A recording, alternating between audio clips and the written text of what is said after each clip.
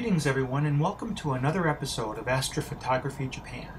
This little adventure captured on film for you today, again, heads to coastal Japan.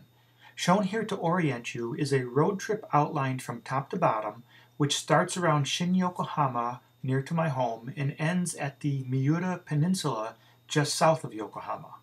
At the tip of this peninsula is a fishing town called Misaki, and a small rocky coastal island called Jogashima. By car, assuming no traffic, the trip takes a little over one hour. およ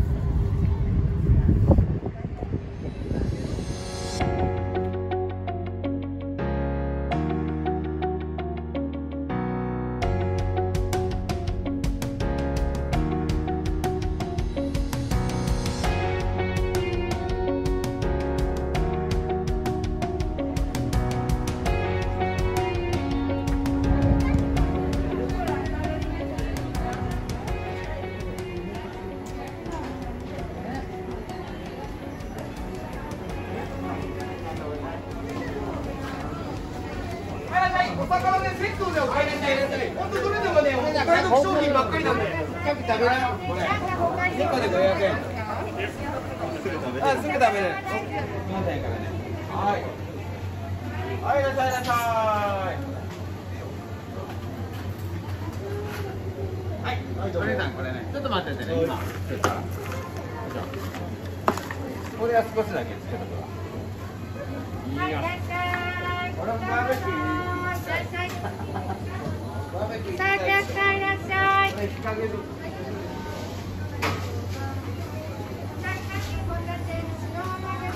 いらっしゃい、ませい。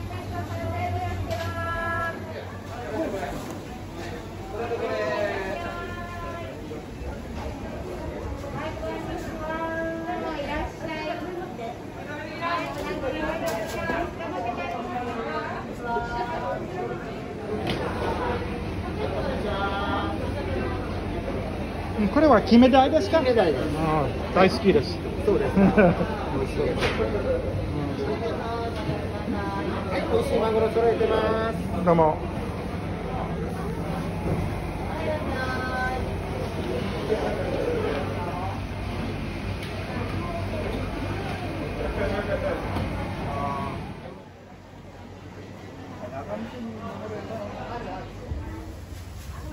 Okay, so we stopped for lunch before we decided to go to Jogashima Island. This uh, this is my friend Junichi Hosoi. Hi, Paul. so, uh, a rather impressive lunch here. Um, it's mostly maguro, uh, tuna. And this is fried tuna here, and that's raw tuna there. You actually, you actually have minchi tuna, right? Yes. that's like a minced tuna steak kind of thing, Mm, uh, of which we're going to share. yes. And Paul is having enjoying uh, beer, of course. Thank you very much. Looking forward to tonight, hoping that the clouds hold off so we Okay. get some good photography. in. Mhm. Cheers. So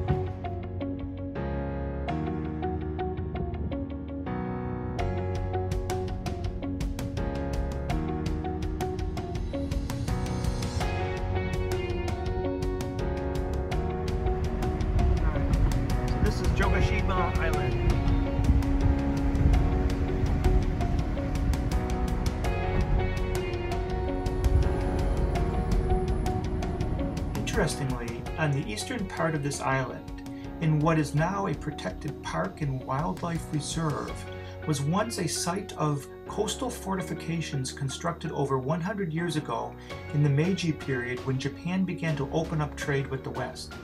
From the cliffs of this site, cannons and later howitzers of the Imperial Navy protected the waters leading up to the capital city of Tokyo. But first, we explored the west side of the island to scout out potentially good spots for astrophotography.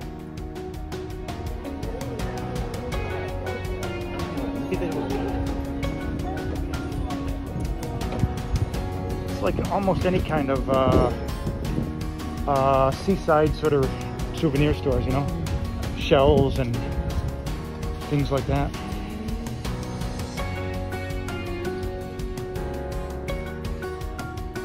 So I stayed at this hotel one time here. Yeah, it's pretty nice. Okay, it's just like that the place we stayed at in uh, in Uganda.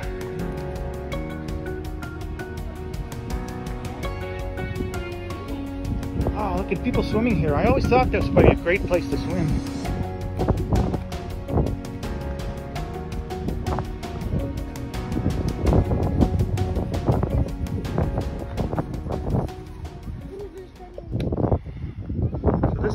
South, I guess, huh? This way. And that's sort of Yeah. e- east over there. Yeah.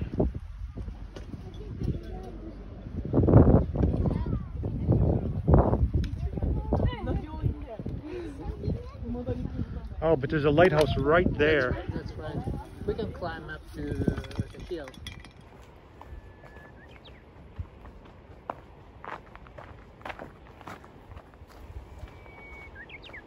That's called a uguisu, right? Oh yes. That bird, yeah. Very famous. Mm-hmm.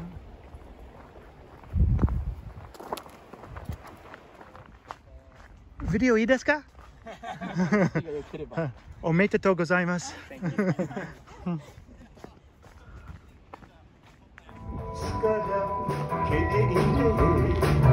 いつものガチバニュー東京フ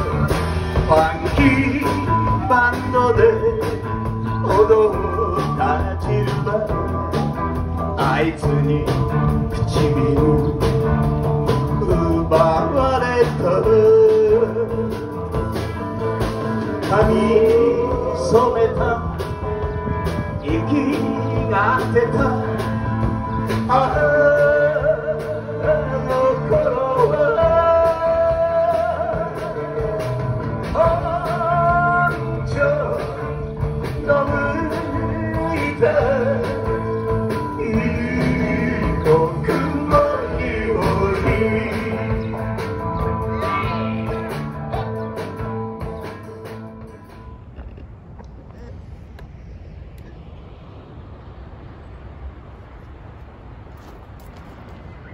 JP Astro Guy here. My name is Paul.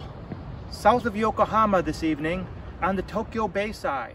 You can probably even see across the bay the Chiba Peninsula is that landmass over there. This is about a Bortle class 4 area. So we've got some dark skies and I'll be going after a fairly dim nebula uh, today, this evening, tonight. I've got my wide field set up here, my Askar FMA 135 lens on my ASI 533 MC Pro camera. That captures a 4.8 degrees of sky. So, skies are looking good right now. Uh, let's see what we can get accomplished tonight. Thanks for joining.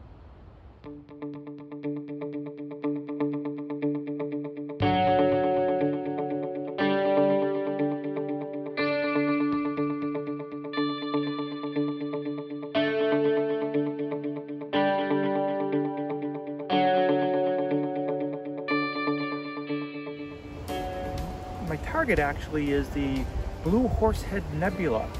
Wasn't sure if I was going to be able to capture this tonight, but so far it's looking very good. I started off with the Optolong L Extreme filter, and I really wasn't picking much up. So then I, after about 15 minutes of that, switched over to a UHC filter, Optolong Ultra High Contrast filter, and that really did the trick. Now I'm picking up a lot of the nebulosity, even getting some blueness in the image here. Uh, so it's looking really good. Tracking has been going quite well with my uh, AZ GTI mount I'm at 1.12 arc seconds right now.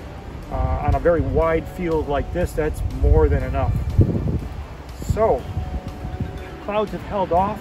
It's currently 1030. I've already got 99 or 100 minutes of uh, image data. So, uh, very pleased so far. Things are going well. I started photographing the Blue Horsehead Nebula from around 20 after 8. On this date, it rises in the southeast and crosses the meridian a little before 11.30 p.m. From this latitude, this reflection nebula gets only about 32 degrees above the horizon, making it a difficult target to photograph on the bright city horizons. Hence, I came to these darker skies. You know, it's 11 o'clock and still don't see any clouds. So this is one of those nights where the forecast actually was wrong and it worked to our favor. Another interesting thing is I realized earlier in the evening that looking out over Tokyo Bay, this is the flight path for the landing planes at Haneda Airport. Luckily, they're low enough that it didn't interfere with the astrophotography, um, but I guess I should have expected that.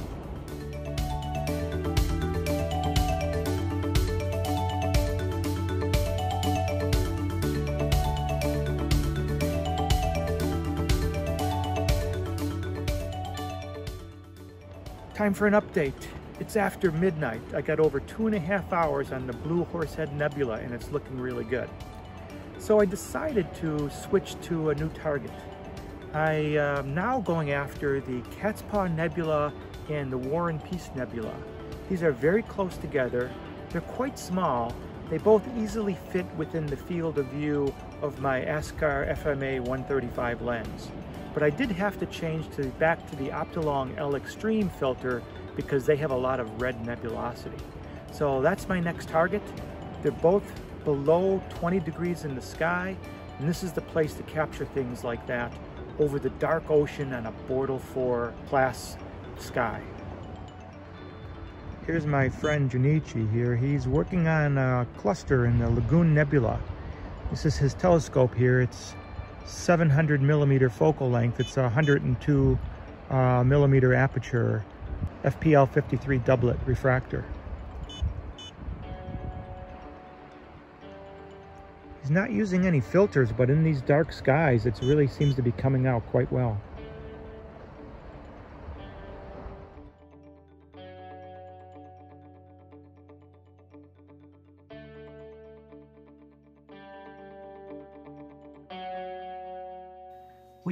Stay until sunup since high-level clouds began to obscure imaging.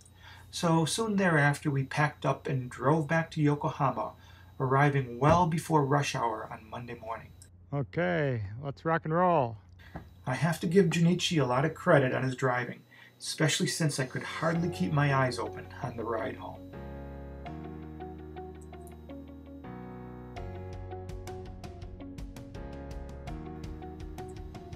The following days, I processed my images in my usual fashion using Deep Sky Stacker, StarNet 2.0, GIMP 2.10, and Topaz Denoise AI.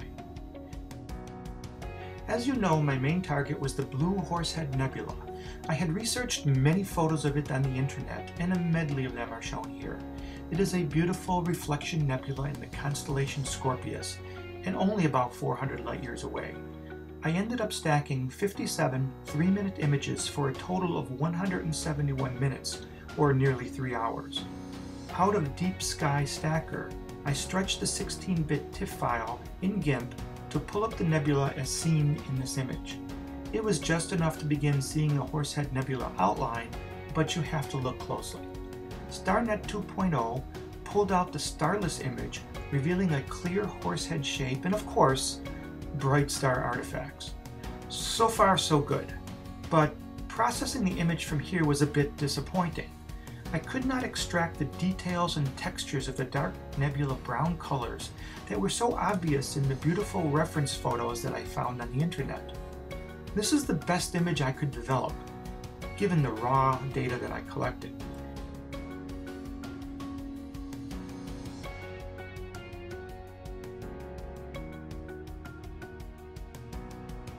It just doesn't have the pizzazz I was hoping to achieve. And frankly, I am a little stumped. Of course, more integration time would definitely help, it always does. But I'm wondering if the UHC filter was good for capturing the blue color, but not good for the darker nebula. Did I block the darker nebula colors by using that filter?